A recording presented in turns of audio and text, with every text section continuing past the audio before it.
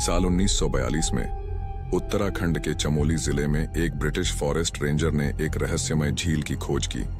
इस झील के किनारों पर सैकड़ों इंसानी कंकाल बिखरे हुए पाए गए। इस दौरान झील पूरी तरह मानवों के कंकाल और हड्डियों से भरी थी, जिनके बारे में वैज्ञानिकों और इतिहासकारों के लिए अनेक सवाल खड़े हो गए। ये लोग कौन थे और उनकी मौत का कारण क्या था? आज इस झील को रूपकुंड झील के नाम से जाना जाता है।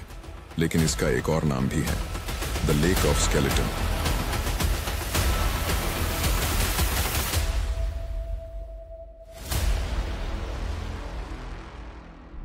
इतने सारे कंकालों और हड्डियों को देख ऐसा आभास होता था कि शायद पहले यहाँ पर ज़रूर कुछ न कुछ बहुत बुरा हुआ था।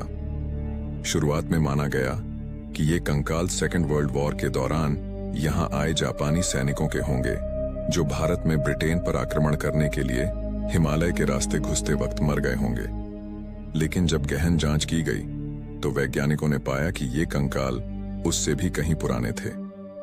हालाँकि 2004 में हुए एक अध्ययन ने रूपकुंड झील से जुड़े कई चौंकाने वाले खुलासे किए। इस अध्ययन के ज़रिए यह पता चला कि ये कंकाल आठवीं से नौवीं सदी के बीच के थे।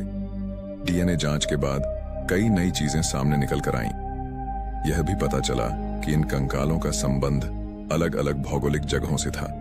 अंत में वैज्ञानिकों ने बताया कि काफ़ी समय पहले इन लोगों की मृत्यु किसी भारी गेंद जैसे आकार की चीज़ों का सिर पे गिरने से हुई थी, जिससे यह माना गया कि संभवतः एक भीषण ओलों के तूफ़ान में ये लोग मारे गए होंगे। लेकिन आपको जानकर आश्चर्य होगा कि हिमालय पर्वत पर रहने वाली महिलाओं के एक प्रसिद्ध लोकगीत में एक माता का वर्णन आता है। लोकगीत के मुताबिक ये देवी माता बाहर से आए लोगों पर गुस्सा करती थीं, जो यहाँ आकर पहाड़ की सुंदरता में खलल डालते थे इसी गुस्से में उन्होंने भारी भरकम ओलों की बारिश करवाई जिसके कारण कई लोगों की जाने गई थीं।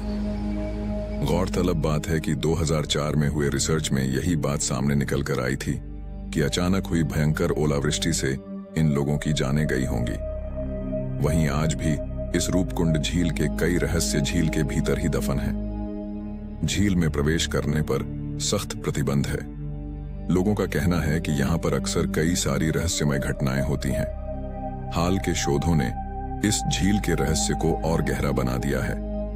डीएनए परीक्षण से पता चला कि यहाँ दो अलग अलग समूहों के कंकाल हैं और इन दोनों समूहों के बीच हज़ारों वर्षों का अंतर है।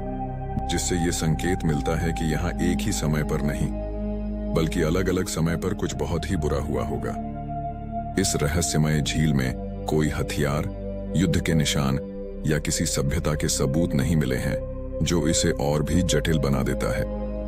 रूपकुंड झील का यह रहस्य वैज्ञानिकों के लिए आज भी एक चुनौती बना हुआ है, और इसके जवाब शायद इस झील की गहराइयों में कहीं छुपे हैं।